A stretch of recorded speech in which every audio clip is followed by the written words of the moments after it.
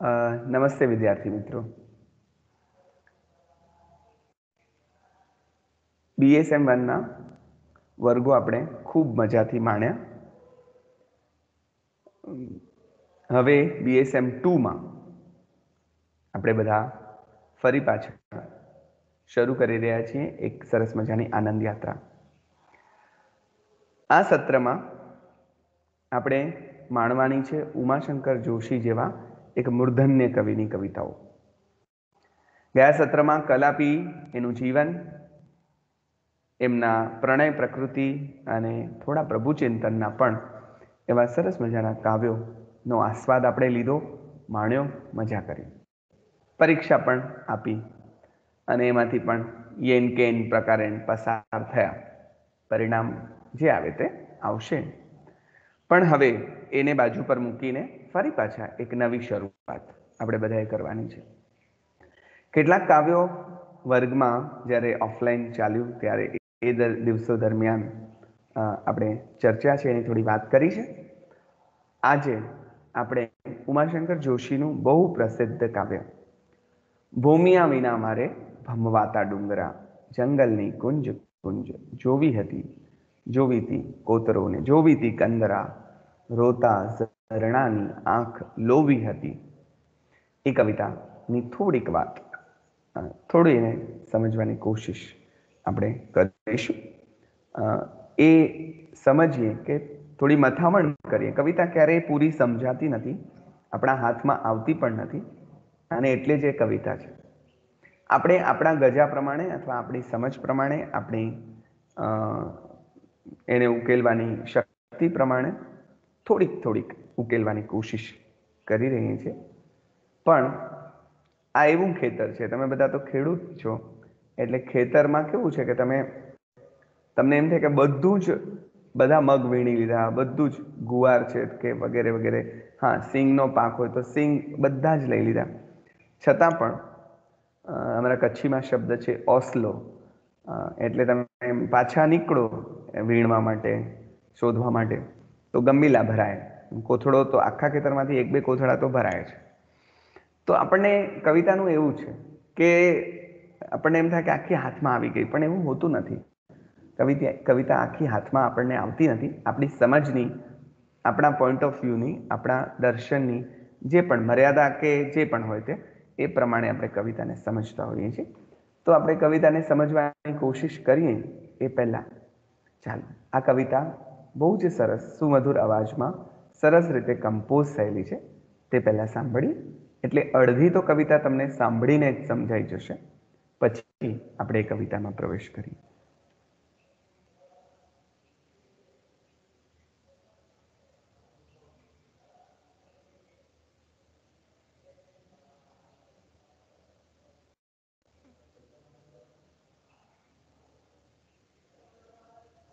શ્યામલ સૌમિલ બહુ જ સરસ અવાજમાં આપણી ગુજરાતી હસ્તાક્ષર તમારે બધાએ સાંભળવાની એવી સરસ સિરીઝ છે.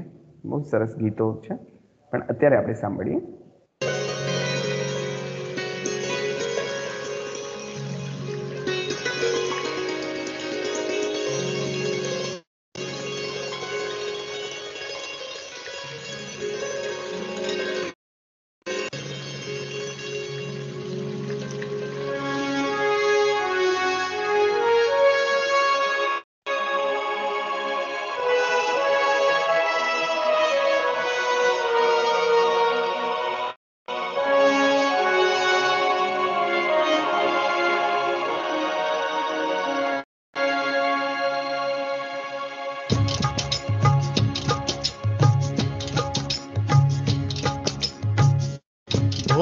ભૂમિયા વિના મારે ભમવાતા ડુંગરા ભૂમિયા વિના મારે ભમવાતા ડુંગરા જંગલની કુંજ કુંજ જોવી હતી જોવી હતી કોતરોને જોવી હતી કંદરા રોતા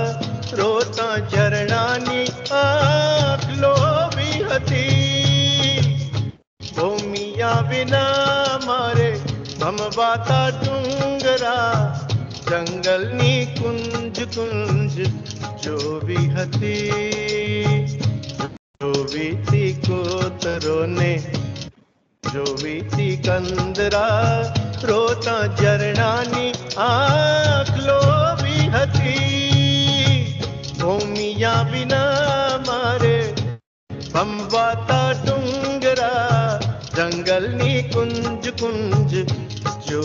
ಕಥೆ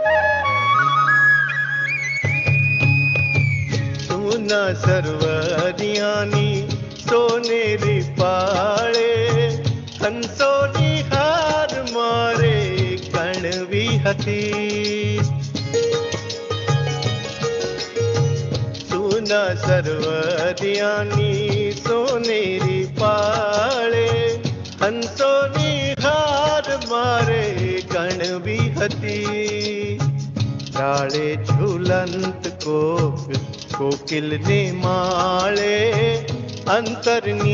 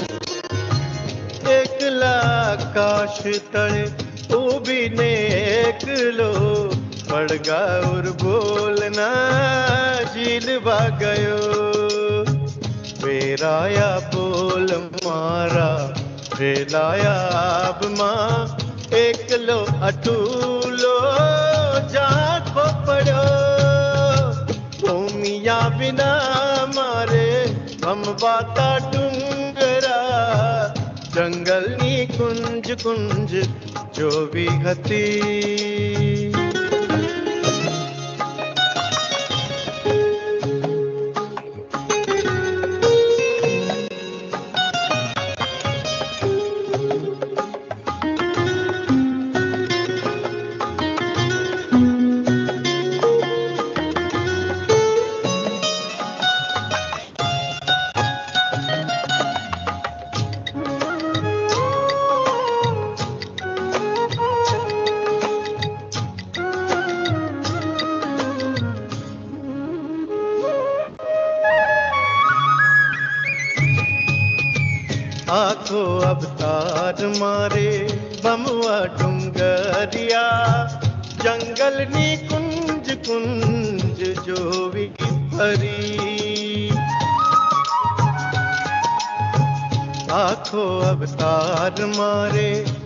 બટુંગરિયા જંગલની કુંજ કુંજ જોવી ફરી ભૂમિયા ભૂલેવી ભમવીરે કંદરા અંતરની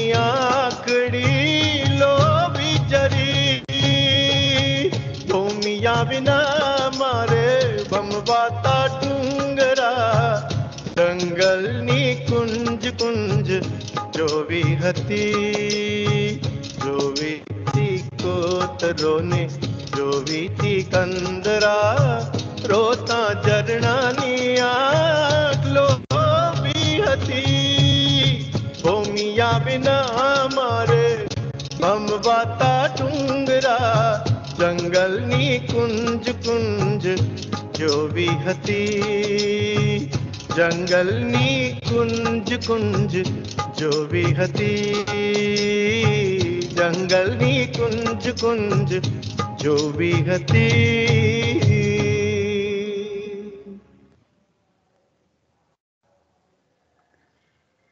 આ મિત્રો આશા છે કે તમને આ વાત આ સરસ મજાનું ગીત બહુ જ ગમ્યું હશે ભૂમિયા વિના મારે ભમવાતા ડુંગરા જંગલની કુંજ કુંજ જોવી હતી.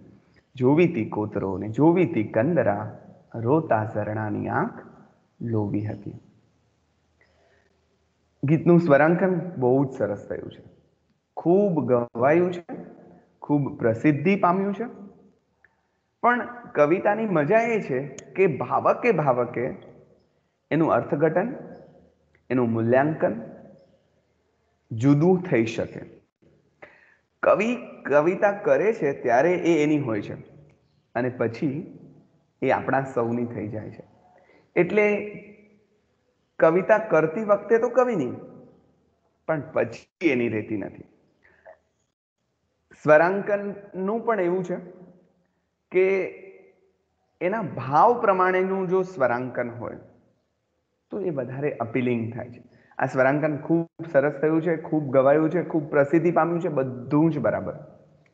પણ છતાં, એક ભાવક તરીકે મને જે લાગે છે તે એ છે કે અહીંયા ગાવામાં જે ઉત્સાહ છે ને, ગાવામાં જે ઉલ્લાસ છે, ગાવામાં જે આમ થોડો ઉમળકો છે, ગીતમાં એવો ઉમળકો નથી, ગીત તો વિષાદનું ગીત છે. કંઈક છૂટી ગયાનું ગીત છે. કંઈક રહી ગયાનું ગીત છે. તમને કંઈક કરવું હોય અને ન થઈ શકે અને પછી તમારા મનમાં એવી આશા રહી ગઈ હોય કે અરે, આ કરવું હતું. ન થઈ શક્યું, ન થઈ શક્યું, ન થઈ શક્યું. અને જે થાય, અંદર સળવળાટ. એ આમ કઈ તમે નાચી ગાઈને કે આમ ઢોલ વગાડતે વગાડતે, એમ ન કહો. ભૂમિયા વિના મારે ભમવાતા ડુંગરાને જંગલની કુંજ. સરસ ગાયું. આપણને બહુ મજા આવે એવી રીતે. આમ તાન ચડે. પણ હવે તાન ચડે ને એમાં એનો મૂળ સૂર આપણે ભૂલી જઈએ. એની મુખ્ય પંક્તિઓ જે છે, એ છે, ભૂમિયા વિના મારે ભમવાતા ડુંગરા મારે આમ કરવું હતું. અને હું એમ કરી નથી શક. તમે ક્યારે કહો આમ કરવું હતું? એવું આપણે ક્યારે કહીએ? જ્યારે એમ કરી ન શક્યા હોય તે મારે તો કલેક્ટર બનવું હતું. પણ અરે શિટ આમ આમ, અરે શિટ એમ બોલાતું નથી. પણ આપણે વ્યવહારમાં બોલીએ, અહીંયા નથી બોલાય. પણ ઉમાશંકર પણ એમ જ કહે છે કે ભૂમિયા વિના અમારે ભમવાતા ડુંગરા. અરે shit I haven't do this sorry અનુભવે છે એવું કંઈક કે હું આ કરી નથી શક્યો. એ ન કરી શકવાની નો જે અફસોસ આપણી સાદી સીધી ભાષામાં કહીએ તો, જે કરવું હોય અને ન કરી શકે. કાંઈ પણ. તમને ફરવા જવું હોય અને બાપાને એમ કે બેસી જાઓ, એટલે તમે ન જઈ શકો. એટલે તમને જે અંદર અફસોસ થાય. અહીંયા કવિને મૂળ કવિ ડુંગરાના માણસ, બામણા, એમનું ગામ ઈડર વિસ્તાર તમે જુઓ પથ્થર અને પહાડનો એ વિસ્તાર. કોતરોનો વિસ્તાર, કંદરાઓનો વિસ્તાર, નદીનો વિસ્તાર, વગેરે વગેરે વગેરે. તમે જોયો હોય તો મજા પડે. એવો વિસ્તાર. તળ ગામડા સાથે સર્જકનું કનેક્શન છે કારણ કે ત્યાં જન્મ્યા છે, ઉછર્યા છે.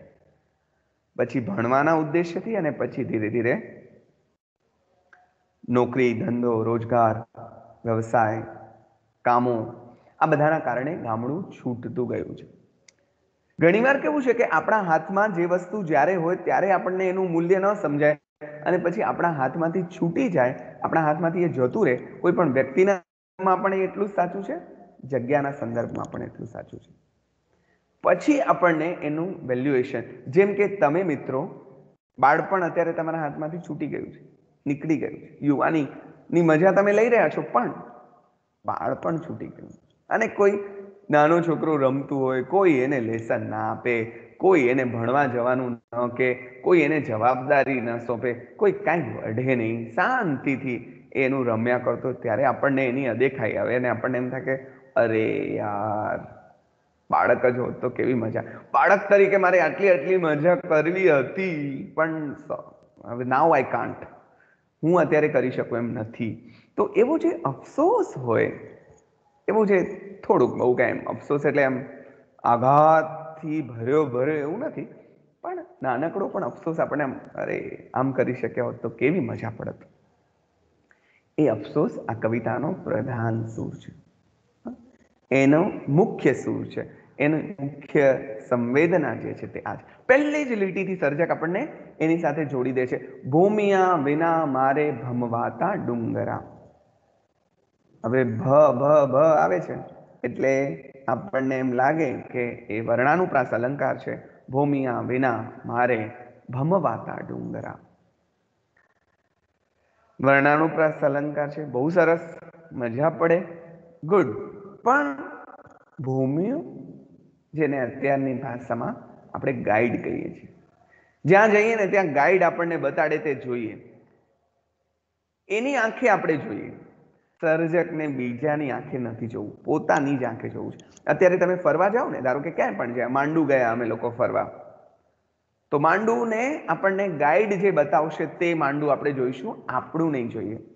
એટલે ઘણા બધા એવા અમારા સ્વજનો છે, રખડું, જે લોકો ક્યારેય ગાઈડ કરે છે. જ્યાં મજા પડે ત્યાં ફરે અને જેમ જોવું હોય તેમ પોતાની રીતે જુએ અને એનો આનંદ લે. ગીતાબેન અને દીપકભાઈ અમારા સ્વજનો છે તે આખા ભારતમાં આ રીતે ફરે છે.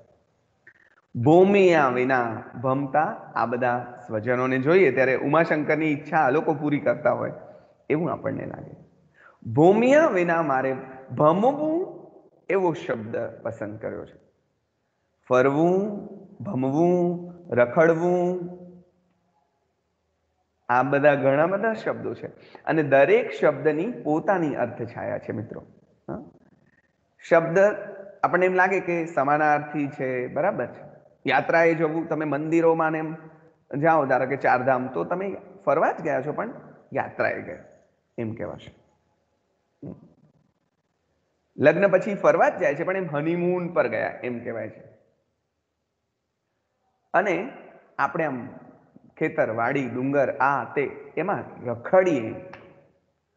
ભમવું, ભ્રમણ વિદિશાના વર્ગો જો ભૂલે ચૂક્યા તમે ભર્યા હોય, તો એ ભ્રમણ ગાથા છે. ભમ્યા છે ભોળાભાઈ.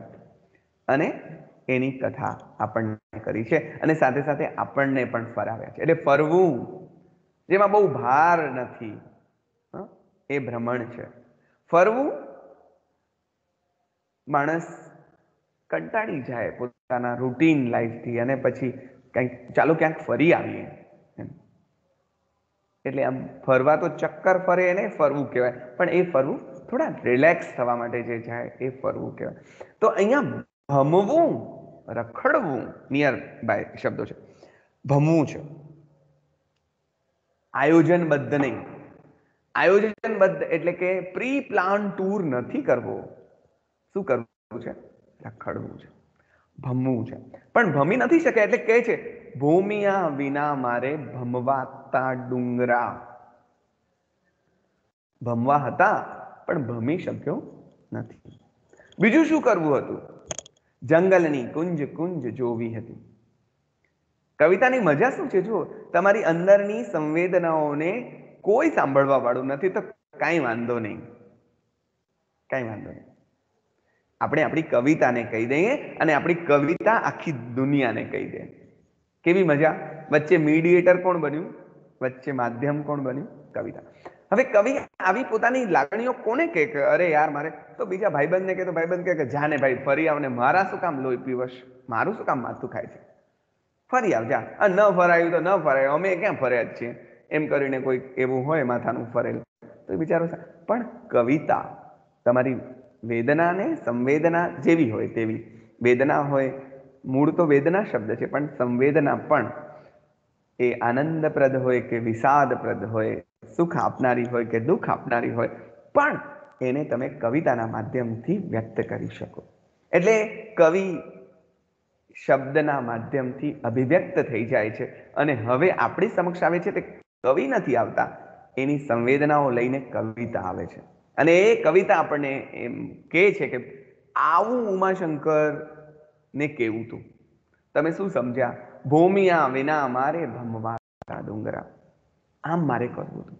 નહીં આટલેથી અટક્યા નહીં. જંગલની કુંજ કુંજ જોવી હતી. કુંજ કુંજ. એક એક. નાની નાની જગ્યા. જંગલ. એવું સરસ. કેવું સરસ. એને મારે જોવું હતું. જંગલ, હવે જો અહીંયા વન, ઉપવન, બગીચા, મહેલો એવું કાંઈ જોવું નથી. જોવું શું છે? ભૂમિયા વિના ભમવું શું? ક્યાં છે? ડુંગરામાં. જ્યાં સામાન્ય માણસને કાંઈ બહુ રસ પડે નહીં, આપણી આસપાસ એટલા ડુંગરા હોય. આપણે એમ થાય, હવે આમાં શું જોવું? અમે લોકો એક વખત નૈનીતાલ ગયેલા છ, આઠ દિવસની શિબિરમાં. અને પછી એ શિબિરમાં એવું હતું કે અડધો દિવસ અરવિંદ મહર્ષિ અરવિંદના સાવિત્રી મહાકાવ્ય વિશે લેક્ચર્સ અને પછી અડધા દિવસમાં નૈનિતાલમાં ફરવાનું. પહેલા દિવસે બધાને ફરવા લઈ ગયા. બહુ મજા આવી. બીજા દિવસ થયો. બપોર સુધીનું વ્યાખ્યાન પૂરું થયું.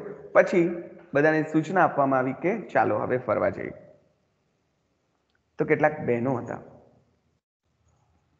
ગામડાના હતા એની સામે વાંધો નથી, પણ માનસિકતા હજી બિચારાની વિકસી નહોતી. અમે બધા ગામડાના જ. આપણે બધા તળ ગામડાના લોકો. પણ રુચિ ડેવલપ થવી જોઈએ ને? કલા અને આ બધા પ્રકૃતિને માણવાની તો તમારી અંદર એ એ રુચિ ડેવલપ થવી જોઈએ તો થાય. એટલે પછી એ બેનો બિચારા પાંચ સાતના ગ્રુપના તે પચાસની ઉંમર વટાવી ચૂકેલા ને એવા. એટલે એમણે કીધું કે તે જોવા શું જવાનું છે? શું જોવા જવાનું છે?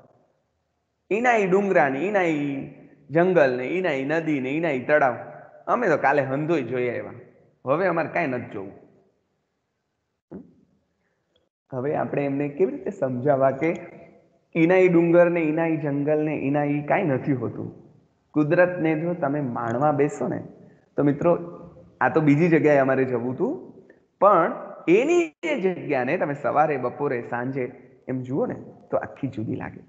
સવારે એક, બપોરે બીજી, સાંજે ત્રીજી, સાંજે પણ ઢળતી સંધ્યાએ એક, ઉતરતા અંધારે બીજી. કેટલી બધી કુદરતમાં નિત્ય નૂતનતા છે. તરત નવું નવું નવું નવું નવું નવું કુદરત તમારી સમક્ષ પીરસે છે. ખાલી આપણી જોવાની નજર હોય. એટલે જંગલની જગ્યાએ એકે એક કુંજ કુંજ બધું જ ચપ્પે ચપ્પો આપણે એને હિન્દીમાં ચપ્પા ચપ્પા છાનવારો. કંઈ છે તો, કંઈ તો છુપે હોંગે. ઓલા કોઈને શોધવા જાય ત્યારે પોલીસવાળા આ ડાયલોગ બોલતા હોય છે. એ માણે ચપ્પા ચપ્પા ધૂમ ના થા મુજે. ગુમ ના થા મુજે. જંગલ में હા? જંગલની કુંજ કુંજ જોવી હતી. આટલાથી સંતોષ નથી. જોવા, જોવાતા કોતરો. કેવા કેવા કોતરો? સહજ કોતરાઈ જાય તે કોતરો. કોતરામણી પછી આવે ને?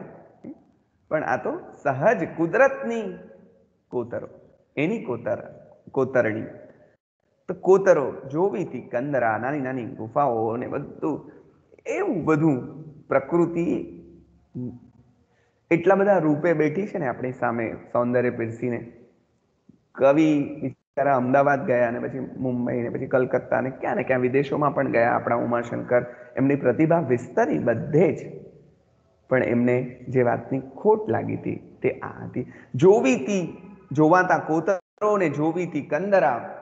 હવે એની ઈચ્છા તો જુઓ, રોતા ઝરણાની આંખ લોવી હતી. આવું કવિને જ દેખાય. પર્વતમાંથી ઝરણું ફૂટે એનું સૌંદર્ય તો આહા ગજબ હોય. પણ પણ અમને બધાને, આપણને બધાને ઘણા બધા કવિઓએ ઝરણાના સૌંદર્યની કવિતા લખી છે. મેં પણ એક કવિતા પહેલી વખત હિમાચલ ગયેલો ત્યારે, હું તો વનવગડાનો સાથી, હું તો વનવગડાનો સાથી ક્યાંથી આવી ચડ્યો, અહીંયા ક્યાંથી? એવી એક કવિતા લખેલી. અહીંયા મતલબ કચ્છમાં રણમાં ક્યાં આવી ચડ્યા? આપણે તો વનવગડાના સાથી છે મતલબ જંગલ ને ઝરણા ને આ ને તે ને એની મજા માણવા વાળા માણસ છે. તો આપણે ઝરણાની, રમતની, એના ઉછા ઝરણું હસતું, રમતું, આવે, ઝરણું, આમ આમ આમ, એવી કવિતાઓ સાંભળી છે. ઝરણું ખડખડ ખડખડ વહેતું, એવી એક કવિતા છે. પણ અહીંયા કવિને જે જો, કવિને દેખાય ને તે ભાઈ આપણને ન દેખાય. એટલે તો કહેવાયું સાદી સીધી ભાષામાં, જ્યાં ના પહોંચે રવિ, ત્યાં પહોંચે કવિ. સંવેદનાઓના એવા વિશ્વમાં, અને હવે એ ઉમાશંકરની ફિલિંગ છે ભાઈ. એને જે કરવું છે તે, ઉમાશંકર આપણને કહે છે, રોતા ઝરણાની આંખ લોવીથી બોલો, મારે એ તો રહી જ ગયું. આ બધું કર્યું એમાં. ઝરણું એ પર્વત આંસુ પણ હોઈ શકે. ડુંગર જાણે રોઈ રહ્યો છે, પણ ઝરણું પોતે જ રોઈ રહ્યો છે. એવી પણ એક એવો પણ એક અર્થ થાય. અને એની આંખ મારે લોગી હતી. એટલે ઝરણું ઇઝ ઇક્વલ ટુ પ્રકૃતિ. ઝરણું ઇઝ ઇક્વલ ટુ કુદરત. એની, હવે કુદરત પણ રોવે તો કેવી રીતે રજૂ થાય? કેવી રીતે વ્યક્ત થાય? આ શું કવિતા? દોસ્ત અજય આપણી સાથે છે. અનિલ હતા ત્યારે આપણે ભણેલા. તો આંસુ શું છે? તમારા હર્ષ અને શોક બંનેની અભિવ્યક્તિનું સાધન છે. એના દ્વારા તમે વ્યક્ત થઈ શકો છો. તો અહીંયા રોતા ઝરણાની આંખ લોવી હતી. મારે તો હજી આ કરવાનું બાકી હતું. આપણે બહુ જ બહુ જ ઉપર, ઉપરથી આખી કવિતાને તમારા બધા નાના મિત્રો માટે વાત કરી રહ્યા છીએ, એટલે હજી આપણે બહુ ઊંડે નથી જતા. નહીતર તો આના અંદરના બીજા ત્રીજા કેટલા બધા અર્થો નીકળે. પણ આપણે અત્યારે એનો સ્થૂળ નાનકડો અર્થ કરે. રોતા ઝરણાની આંખ લોવી હતી. પ્રકૃતિની આંખ લોવી હતી. મિત્રો, કોઈની ના આંસુ લૂછવાનું મન થાય ને, ત્યારે સમજવું કે આપણી અંદર કોઈ મહામાનવે જન્મ લઈ લીધો છે. ધીરે ધીરે આપણે માણસમાંથી ધીરે ધીરે મહાવીર બનવાની દિશામાં આગળ વધી રહ્યા છીએ. તો જ આપણને આ કરુણા કોઈના દુઃખ જોઈને પોતાનું દુઃખ લાગે, અનુભવાય, ત્યારે કરુણાનું ઝરણું આપણી અંદર પ્રગટતું હોય છે. અહીંયા કવિએ ઝરણાની આંખ લોવાની વાત કરી, પણ આપણને મજા એ વાતની આવે કવિતા સમજતા સમજતા કે એવું કરુણાનું ઝરણું એમની અંદર પ્રવેશ્યું. એમની અંદર ફૂટ્યું, પ્રવેશ્યા કરતા પણ ઝરણું તો ફૂટે. કરુણાનું એવું ઝરણું એમની અંદર ફૂટ્યું કે આ કવિ ઓલા ઝરણાના આંસુ લૂછવાની ભાવના વ્યક્ત કરે છે. ભૂમિ વિના મારે ભમવાતા ડુંગર. અરે, આ રહી ગયું છે. ભૂમિ વિના મારે ભમવાતા ડુંગર. હજી તો મારે રખડવું હતું અને કોઈ સાથે નહીં. મારે એકલા. હવે એવું આગળ હજી શું કરવું હતું કવિતાને કહે છે અને કવિતા આપણને કહે છે. સુના સરવરિયાની સોનેરી પાડે. વળી સ સ સ, વર્ણાનુપ્રાસ અલંકાર. આપણે શીખ્યા ને ગયા સત્રમાં વર્ણ સગાઈ અથવા વર્ણાનુપ્રાસ. એ તો બરાબર છે. મજા આવે આપણને શબ્દની રમત જેવું લાગે અને ગમે. પણ સુના સરવરિયાની સોનેરી પાળ. હંસોની હાર મારે ગણવી હતી. See the magic of poetry કેવી કવિતાની મજા છે. સુનું સર્વર, સરોવર, નાનકડું સુના સરવરિયા હવે શરવરિયા ને એવું બધું છે ને કવિતામાં જ આવે, હા. મારે તોડલે બેઠો રે, મોર ક્યાં? અંબોડલે ને આમ ને તેમ. હવે એ અંબોડલે, હું તો ગાગરડી, હું. તો પાણીડા, ભરી ભરી, પાણીડા એવું શબ્દ કેમ આવે? કવિતામાં, આમ વ્યવહારમાં આપણે બોલતા ને. તો હું તો કાગડિયા લખી લખી, થાકી, કાનુડા તારા મનમાં નથી. તો કાગડિયા નહીં, હું તો તમે લખ્યા તો કાગળ જ હોય. પણ કવિતામાં આવી રીતે આવે. સરવરિયું સરવરિયાની. તો સરવરિયા એટલે સર્વર. મૂળ તો સરોવર, પણ કવિતામાં સુના સરવરિયા? એના એના કારણે એક લાલિત્ય, એક સૌંદર્ય, એક મજા કવિતાની એમાં પ્રવેશતી હોય. એટલે સુના સરવરિયાની સોનેરી પાળ? સરવરિયું કેવું? સૂનું, નિર્જન. જ્યાં લોકો નથી. અને લોકો નથી ને, ત્યાં સૌંદર્ય છે, આમ જોવા જાવ તો. લોકો જ્યાં જ્યાં, જે જે આપણા ફરવા જવાના સ્થળો થયા, તે બધાની પાડ પીટાઈ ગઈ છે, તમે જુઓ તો. એ પછી સાપુતારા હોય, કે પછી માઉન્ટ આબુ હોય, કે પછી કચ્છનું રણ હોય, કે પછી મનાલી ને શિમલા હોય. હવે લદ્દાખ તરફ છે, લદ્દાખ અત્યારે કોરું છે, પણ એ થઈ જશે, કારણ કે હવે એનામાં સુરંગ બની રહી છે અને આપણે બધા જઈ શકીશું મજા કરીશું, પણ આપણા ભારતીયો એટલું બગાડે જગ્યાને. ઠીક છે, આપણે એની ચર્ચા નથી કરતા. સુના સરવરિયાની, જ્યાં કોઈ નથી. એવા નિર્જન સરવરિયાની પાડે સોનેરી પાડ પાછી. એવું જેવી તેવી નહીં એમ. કવિને કઈ જેવું તેવું થોડી ચાલે. સુના સરવરિયાની સોનેરી પાડ કેમ ખબર છે? એ તરફના પથ્થરો કદાચ એવા રંગના હોય અને એની પાડ એટલી સરસ, સુંદર સોનેરી લાગતી હોય. આપણે એ એ જગ્યા, એ એ વિસ્તાર જોઈએ ને, અમે ઈડરીઓ ગઢ ચડ્યા છીએ એટલે મને થોડી લાલાશ પકડતી, પીડાશ પકડતું એ પથ્થર. તો કદાચ કવિ જે તળાવની વાત કરતા હોય, એની પાડ આવી સોનેરી હોય, આપણે તો જેમ કવિ કલ્પના કરે તેમ આપણે પણ કલ્પના કરીએ છીએ. સાચું ખોટું એવું તો આપણે કહેવાય કોઈ દાવો કરતા નથી. કવિતાના સંદર્ભમાં ક્યારેય કોઈ દાવો ન થઈ શકે. કવિતાના સંદર્ભમાં તો અનુમાન થાય. એમ કે આપણે વિચારીએ કે આવું હોઈ શકે. સુના સરવરિયાની સોનેરી પાડે હંસોની હાર મારે ગણવી હતી. હંસભાઈ ક્યાં મળશે? એ કઈ જનમેદનીની વચ્ચે નહીં આવે. હંસ, જો તમે સંતોને જુઓ તો એ ક્યાંય ઉપર બેઠેલા છે. સંતો પણ હંસો જેવા જ હોય છે. હંસ જે નિરક્ષીર અરે, મોતી ચણે છે. નિરક્ષીર વિવેક તો બગલો કરી શકે છે. પણ હંસ જે છે એ મોતી જાણે જેને મોતીમાં રસ છે તે હંસ છે. એટલે કે જેને સત્વમાં રસ છે. પરમમાં રસ છે. તે એટલે હંસો, હંસ નિર્વાણ એવી એક પરંપરા આપણે ત્યાં રાપરમાં છે. બહુ જ સરસ, અદ્ભુત પરંપરા છે. જ્ઞાન માર્ગી પરંપરા. ભવિષ્યમાં આપણે એના વિશે કામ કરીશું, તેમાં તમારી મદદ પણ જોઈશે. તો હંસોની હાર મારે ગણવી કેટલા છે હંસ?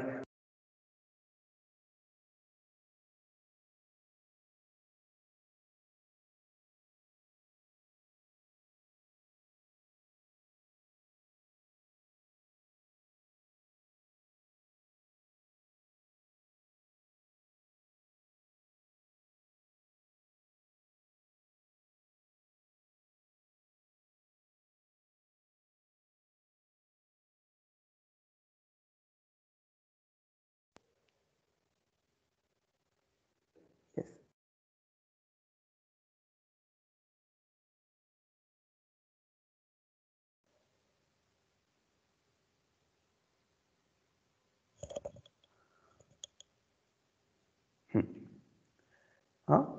અને ટ્રેન પસાર થાય. તો હવે આપણે મોટા થઈ ગયા એવું આપણે માનીએ છીએ. એટલે આપણે કાંઈ ટ્રેનના ડબ્બા ગણીએ નહીં. પણ જેની અંદર બાળક જીવતું હોય ને, એ ડબ્બા ગણવા મળશે. એક, બે, ત્રણ, ચાર, પાંચ, છ, સાત, આઠ, એને ગણવાની બહુ મજા પડશે. એવી જ રીતે જે પણ કાંઈ આવશે. ફૂલ કેટલા છે, રૂમ કેટલા છે, આ કેટલું છે, તે કેટલું છે, એને ગણવાનું નવું નવું શીખ્યો હોય ને, પણ જેની અંદર બાળક જીવતું હોય એને ગણવા. એટલે આમની અંદર હજી બાળક જીવે છે. મિત્રો, મોટા થવું એ તો બધા થાય, પણ આપણી અંદર એક બાળકને જો જીવતું રાખીએ ને, તો મજા પડે જીવવાની. એટલે હંસોની હાર મારે ગણવી હતી. ઓ આ નથી થઈ શક્યું. That I want to do હજી મને ગણવું તું અને નથી ગણી શક્યું. આડે ઝુલંત કોક કોકિલાને માડે ડાળ ઉપર ઝૂલતી ઝ કેવો સરસ શબ્દ વાપર્યો. ડાળે ઝુલંત કોક કોક કોકિલા. પંક્તિએ પંક્તિએ વર્ણાનુપ્રાસ કોક કોકિલા. ને માડે હવે આવી તો આપણને ઈચ્છાઓ ન થાય. આપણે બધાની ઈચ્છાઓ કેવી હોય? માણસને, સામાન્ય માણસને કવિમાં ફરક આ છે. આપણી ઈચ્છા શું હોય? મારે તો બંગલો ખરીદવો છે, મારે તો ફરવા જવું છે, મારે તો આઈસ્ક્રીમ ખાવી છે, મને તો આજે રસગુલ્લા ખાવાનું એટલું મન થાય. એટલે આ ભાવે છે, એ ખાઈ લઉં, આ ભાવે છે, એ ખાઈ લઉં. આ લાલ કલરનું શર્ટ મને બહુ ગમે છે, તો એ પહેરી લઉં. આપણી બધી આવી ઈચ્છા એની ઈચ્છા તો જુઓ. ડાળે ઝુલંત કોક કોકિલાને માડે અંતરની વેદના વણવી હતી. હવે કોયલ બોલે છે, કેવું મીઠું બોલે છે? પણ આપણને એની મીઠાશ દેખાય છે. કવિને એની અંદર છુપાયેલી એની વેદના પણ દેખાય. આ આપણામાં ને કવિમાં ફરક છે. એટલે કવિ એમ કહે છે કે એ ગાય તો મીઠું મીઠું છે, પણ કદાચ એની અંદર વેદના હોત ને તો મારે પણ એની સાથે એ વેદનાના સૂરમાં સૂર ભેળવીને વણવું તું. જો વણાટ થાય ને, વણવાટ, વણાટમાં એક દોરો, બીજો, એક તાર, બીજો તાર આમ એકબીજા સાથે કઈ રીતે ભણાય? તેમ મારી ફિલિંગ્સ મારી લાગણીઓ. અને ધ ફિલિંગ્સ ઓફ દેટ એક કોયલની કુકુ, એક લાગણી. આ બેયને મારે વણવી હતી. કવિની ઈચ્છાઓ તો જુઓ. આપણને જરાક પાંચ મિનિટ એમ થાય ઓહો, આવી તે કોઈ હતી હશે? ડાળે ઝુલંત કોક કોકિલાને માડે જે છૂટી ગયું છે ને, રહી ગયેલી ઈચ્છાઓ. અધૂરી પેલા વાર્તાઓમાં મને આવતું ને તમારી કોઈ આખરી ખ્વાહિશ છે પિક્ચરોમાં પણ એમ રાજા સાઈની મારવા છેલ્લી સજા આપી દે ને પછી મારી નાખવાનો હોય પછી પૂછે તમારી કોઈ આખરી ખ્વાહિશ એટલે ઓલો ફલાણી. એટલે પૂરી કરે. તેમ આ જાણે કે હજી તો સાવ નાના છે, બત્રીસ. એટલે લગભગ વીસ, એકવીસ વર્ષની ઉંમર. એ ઉંમરે જ્યારે ગામડું છૂટી ગયું છે, ત્યારે કવિ એમ કહે છે મારે તો આ કરવું હતું આ કરવું હતું આ કરવું હતું આ કરવું આવું સામાન્ય રીતે માણસ ક્યારે કે સાઠ સિત્તેરે કે કે મારે તો આમ કરવું હતું ન થઈ શક્યું. આમ કરવું હતું ન થઈ શક્યું. આમ કરવું હતું ન થઈ શક્યું. આ તો સાવ નાનકડો છોકરો. યુવાન, તમારા બધાથી સહેજ મોટો. અથવા તમારા જેવડો. એને એમ છે કે આવું આવું ન થઈ શક્યું, તે કરવું તો. હજી છે થોડુંક. એકલા આકાશ તળે ઊભીને એકલો. પડઘા ઉર્બોલના ઝીલવા ગયો. જો, બે એકલા છે. તમારી વેદના કોણ સમજે, ખબર છે? તમારા જેવું હોય ને એકલું આકાશ. આપણે કોઈ દિવસ એવું વિચાર્યું નથી કે આકાશને બિચારાને કોઈ દિવસ એકલું નહીં લાગતું હોય? કવિઓ વિચારે. આપણે ક્યારે વિચારીશું? આપણે તો આપણી મમ્મીને એકલું લાગે છે કે નહીં, એની વિચાર, એનો વિચાર ક્યારે કર્યો છે? મારી એટલી નાનકડી ટાબરી મુસ્કાન, અમે બધા ઘરમાંથી સાંજે એમ કહે કે, ચાલો આપણે ફરવા જઈએ. એટલે નિયામતને ઘરે કામ હોય અને એ કે મારાથી નહીં અવાય, એ ના આવે, તો મારી એક દીકરી એમ કે અમને થોડું આગળ ચાલે પછી એને વિચાર આવે એટલે માથું ખંજવાડતે ખંજવાડતે એમ કે કે પપ્પા, હું ઘરે રહું છું. પછી મમ્મીને એકલું ના લાગે એને બીક નહીં લાગે?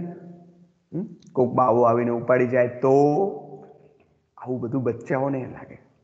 આપણી અંદર ઓલું મોટા થઈ ગયા ને એટલે આપણને હવે એવા વિચારો પણ કવિને આવે છે. એકલા આકાશ તળે, ઊભીને એકલો. એકલું આકાશ. ક્યારે? ટેકો પણ નથી. બોલો, કોઈનો. આકાશને કોઈનો ટેકો ખરો? કોઈના ટેકા વગર બિચારું ઊભું છે. આપણને કોઈ દિવસ એમ થયું કે થાકી નહીં ગયું હોય. અધ્ધર આમ લટકતે લટકતે. એને કોક દિવસ કહેવાય જરાક પોરો ખાને ભાઈ. શાંતિથી પછી આભ ફાટે છે બિચારાને. કે ફાટે જ ને કેટલા વર્ષોથી યુગોથી ઊભું છે. તો એકલા આકાશ તળે ઊભીને એકલો. હું પણ એકલો, એ પણ એકલો. પડઘા ઉર્બોલના ઝીલવા ગયો. ઉરમાંથી હૃદયમાંથી જે આવ્યું ને તે વ્યક્ત કર્યું. અને કુદરતમાં તો નિયમ છે, આઘાત અને પ્રત્યાઘાત. તમે આમ ફેંકશો પહાડોમાં, રામ રામ, તો પાછળથી એક વખત રામ બોલશો, તો રામ રામ રામ રામ આવશે. પાછું બાઉન્સ થઈને, જેને અત્યારની ભાષામાં તમે કહેશો it will come back to you પાછું બાઉન્સ થઈને તમારી પાસે આવશે. એટલે હમણાં જ આપણે સરસ આ બધી કવિતાઓ ભણતા ભણતા જ વાત કરેલી, પણ ફરી કરીએ કે જો તમે, મહાવીરનો સંદેશ બહુ જ નાનકડો છે કે જો તમને સુખ જોઈએ છે, તો બીજાને સુખ આપો. સુખ આપશો, તો સામે સુખ મળશે. દુઃખ આપશો, તો સામે દુઃખ મળશે. તકલીફ આપશો, તો તમને તકલીફ મળશે. પ્રેમ આપશો, તો પ્રેમ મળશે. જે આપશો, તે પાછું મળશે. તો અહીંયા કવિની વાત તો થોડી જુદી છે.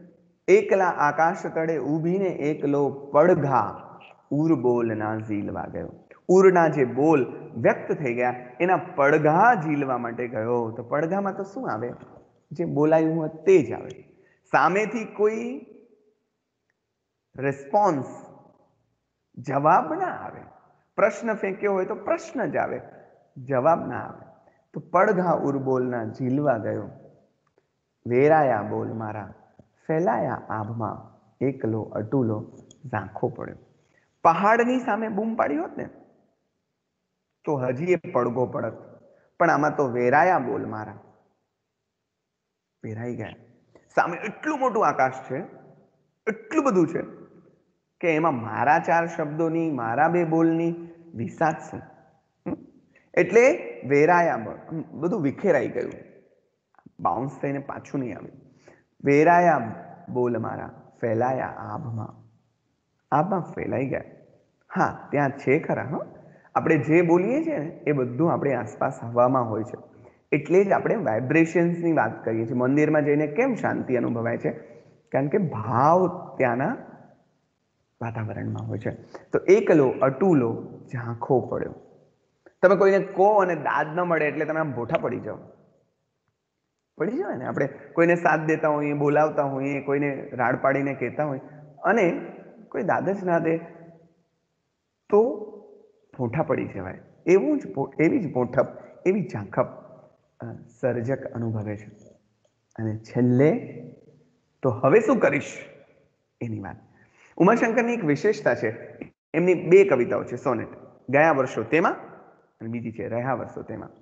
ગયા વર્ષો તેમાં શું શું થયું? આમ આમ આમ આમ હવે that is past not in our hands આપણા હાથમાં છે નહીં. ગુજર ગયા. જો બીત ગઈ, સો બાત ગઈ. વીતી ગયું. હવે આપણા હાથમાં શું છે? તે આ રહ્યા વર્ષો તેમાં.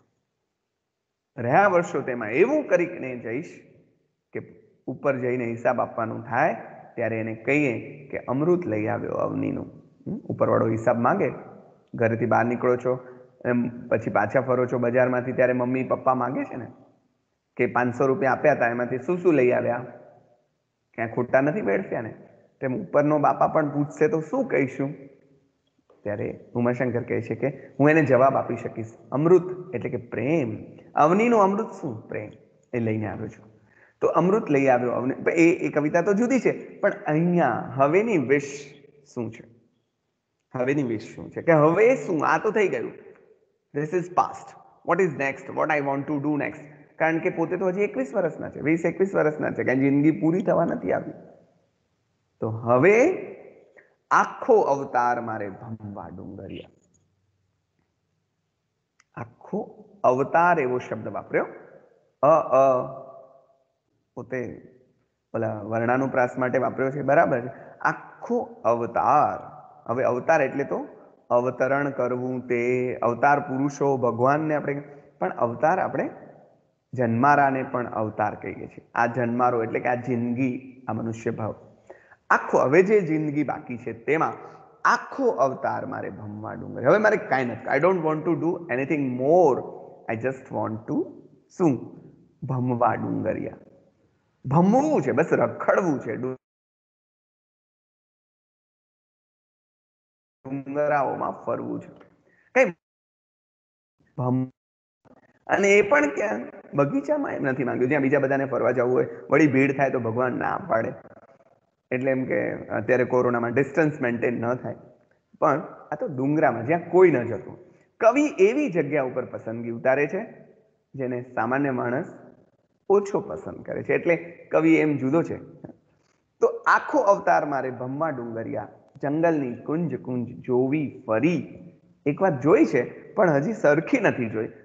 મન ભરી નથી. જેને તમે ચાહતા હો ને, એનાથી એને જોતા જોતા તમારું મન ન ભરાય. પેટ ન ભરાય. એટલે આંખો ભરીને આપણે જોઈ લેવા આપણે કવિએ તો એમ કહ્યું, કીકીમાં કેદ કરી લીધા. મેં કાનજીને કીકીમાં કેદ કરી લીધા. ભગવાનને જોયા, આંખોમાં બંધ કરી નાખી આંખો. હવે બહાર જ ન જાય. કેવી મજા. મન ભરીને જોવા. એટલે પલક પણ ન મારે. આમ પલકારો પણ એ કારણ કે જો, એમ એક એક ક્ષણ જોઈ લેવી છે. તો એમ કે જંગલની કુંજ કુંજ જોવી ફરી ફરી ફરી ફરી ફરી એ જ મારે જોવું છે. ભૂમિયા ભૂલે એવી ભમવી રે કંદરા. જ્યાં આપણો દેખાડવા વાળો ગાઈડ પણ ભૂલી જાય. એવી કોતરોને, એવી કંદરાઓમાં રખડવું છે. પ્લીઝ મારે આ કરવું છે. અને અંતરની આંખડી લોવી જરી આ મને જે વેદના પોતાને જ થઈને આ ન કરી શક્યા ને. અને બીજી પણ હોય, માણસ છે ને, એ સંવેદનાઓનું પોટલું લઈને ફરે છે, માણસ પોતે. એટલે બીજા કોઈ આપણા દુઃખને સમજે કે ના સમજે, એકલા જઈને ત્યાં ફરતા ફરતા રખડતા કુદરતની વચ્ચે અંતરની આંખડી લોવી જરી? અંદર જે રોઈ રહ્યું છે, અંદર જે આંસુ વહી રહ્યા છે, એને પણ મારે શાંત કરવા છે અને એ ત્યાં જ કરી શકીશ. એને ટાઢક આપવી છે અને ટાઢક પ્રકૃતિના ખોડે જ મળશે. તમને સંપત્તિ શહેરો આપી શકે, પણ શાંતિ તો પ્રકૃતિ જ આપી શકે. તમારી અંદરના બળાપાઓને ઠારી કોણ શકે? કારણ કે આપણે we are the child of nature આપણે પ્રકૃતિના સંતાનો છીએ. તો જે જેની સાથે આપણું મૂળિયાઓનું કનેક્શન છે, ત્યાં આપણને મજા પડશે વધારે. કદાચ આપણી દિશા થોડી બદલી ગઈ હોય અને આપણને ઓલું ઝગમગાટ ખેંચતો હોય, એની વચ્ચે આ કવિ આપણને આપણા મૂળિયા તરફ વાળવા માટે આમ તો વાત તો કવિ પોતાની કરે છે. પણ આપણને એમ થાય છે કે આપણે અત્યારે જે જંગલોને, અત્યારે જે કોતરોને ડુંગરા મળ્યા છે, એમાં રખડી લઈએ, પેટ ભરીને રખડી લઈએ જેથી પછી એવું ના થાય કે આપણે પણ ઉમાશંકરની જેમ કેવું પડે કે ભૂમિ વિના મારે ભમવાતા ડુંગરા, એ જંગલની કુંજ હતી. જોવી તી કોતરો જોવી તી કંદરા રોતા ઝરણાની આંખ લોવી હતી. તો મિત્રો, આજે ઉમાશંકરની એક બહુ જાણીતી કવિતાને થોડીક સમજવાની આપણે બધાએ કોશિશ કરી છે. હજી તમે બધા તમારા અર્થઘટનો પણ મારી સાથે શેર કરજો. એ તમારી પોતાની કવિતા હશે, એના અર્થઘટનો હશે, એની જગ્યાએ સાચા છે આપણે આજના તાસમાં અહીંયા અટકીએ છીએ. આવતીકાલે એક સરસ કવિતા સાથે ફરી મળીશું. સૌને નમસ્કાર.